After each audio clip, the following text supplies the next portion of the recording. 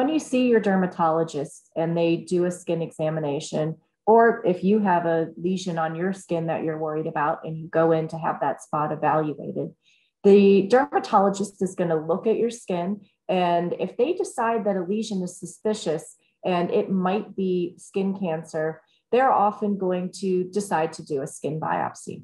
So when we think about a biopsy in general, sometimes we think that this means taking a little piece of something just to get a diagnosis.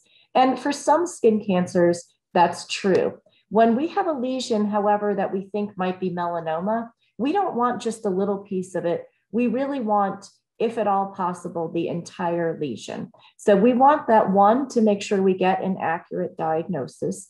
And two, we want to look at the whole lesion because we want to know um, important prognostic factors or factors about that lesion that would tell us how serious it is and what needs to be done next. So we remove the whole lesion so we get an accurate diagnosis. And so we know things like what subtype of melanoma is it? Melanoma can be um, what we call in situ, meaning very thin. It just sits at the top layer of skin.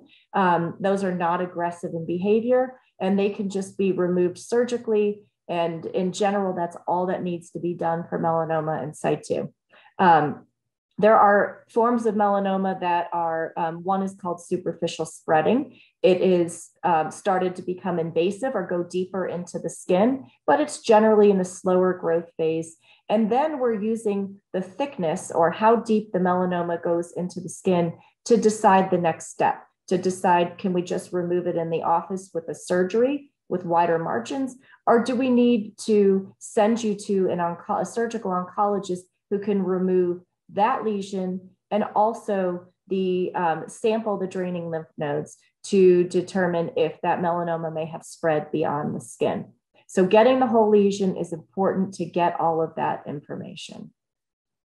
There are also some newer tests that can give us some information. So a small lesion located on the back um, perhaps a, a, skin biopsy is a relatively straightforward procedure. Maybe the patient's not very worried about the scarring in that case. And so that might be a, a situation where we say, let's just go straight to biopsy.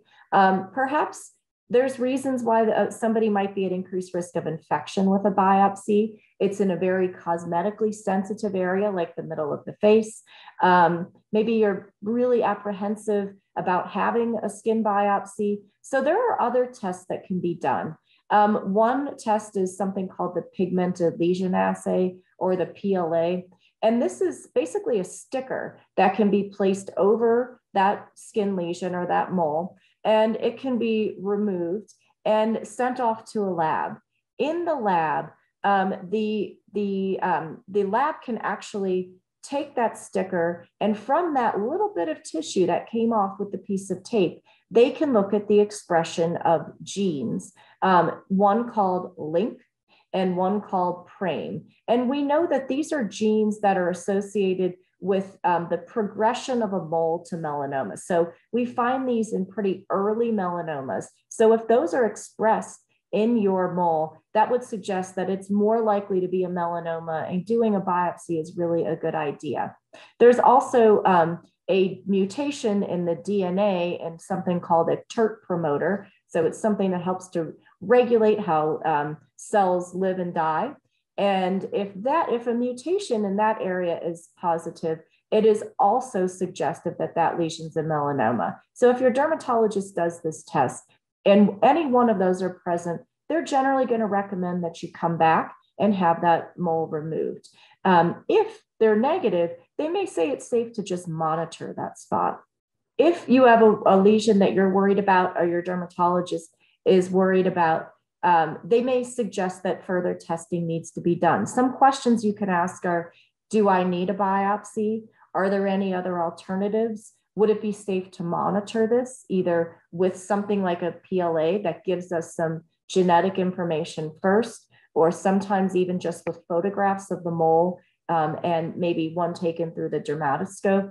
And then if they, if your dermatologist has a high level of suspicion, they're really going to suggest that they need to take that off to get a definitive answer which is having a dermatopathologist, somebody who specializes in reading skin biopsies, look at that to make a diagnosis. Um, if the level of suspicion is maybe moderate or lower, they may suggest that monitoring or using something like the PLA is an option. And then you can talk about what kind of biopsy is best, best for you. Um, there are shave biopsies and punch biopsies. The most important thing is that any of these techniques can be used, but it is really important that you get the whole lesion. So you don't want to take a small piece with a shave or a punch. You really want to take the whole thing out. And that's an important part of making the correct diagnosis.